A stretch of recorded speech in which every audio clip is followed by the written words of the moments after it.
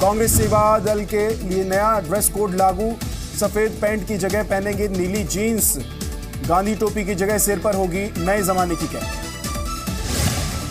बिहार में seat sharing को लेकर आरजेडी की कांग्रेस को नसीहत, कहा कांग्रेस ने एक और गलती की तो 44 सीटें भी नहीं आएँगी।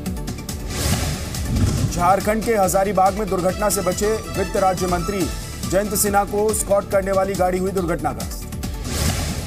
एमपी के शुजालपुर में बीजेपी सांसद मनोहर ऊटावाल का विरोध। नाराज़ गाँव वालों ने बीजेपी सांसद को दिखाए काले झंडे।